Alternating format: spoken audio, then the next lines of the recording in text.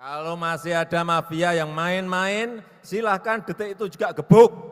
Hal ini disampaikannya saat penyerahan sertifikat tanah untuk rakyat di Gelora Delta, Kabupaten Sidoarjo, Jawa Timur, Senin 22 Agustus. Menurut Jokowi, keberadaan para mafia tanah hanya akan membuat pengurusan sertifikat menjadi kacau.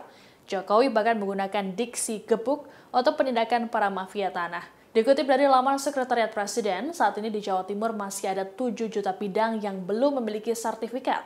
Untuk itu, Jokowi mendorong Kementerian ATR BPN untuk mempercepat proses penyelesaian sertifikat tanah. Presiden lantas mengingatkan masyarakat agar menyimpan sertifikat tanah yang sudah diberi dengan baik. Menurutnya, sengketa tanah di sejumlah daerah dipicu masyarakat yang tak memiliki hak hukum atas tanah tersebut. Pada kesempatan itu, Jokowi juga menjelaskan reformasi yang telah dilakukan pemerintah dalam mengurus sertifikat tanah – Tahun 2016 misalnya, Jokowi mulai menargetkan Kementerian ATR BPN untuk mengeluarkan lebih banyak dari jumlah sertifikat yang dikeluarkan saat itu. Setelah jumlahnya mencapai target, Presiden kemudian menaikkan terus jumlahnya. Pak Menteri adalah mantan Panglima. Kalau masih ada mafia yang main-main, silahkan detik itu juga gebuk.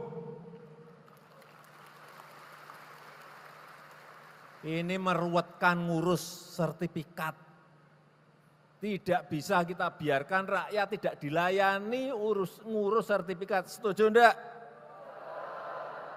Sekali lagi setuju enggak? Karena masih banyak sekali sertifikat yang belum kita selesaikan. 80 juta sertifikat, tapi ini sudah tinggal lebih dari separuh dari 80 juta. Dan di Jawa Timur sendiri tadi sudah disampaikan Pak Menteri, ada yang harus disertifikatkan ada 19 juta kurang lebih. Yang baru pegang sertifikat 12 juta, artinya masih ada 7 juta yang perlu mendapatkan sertifikat.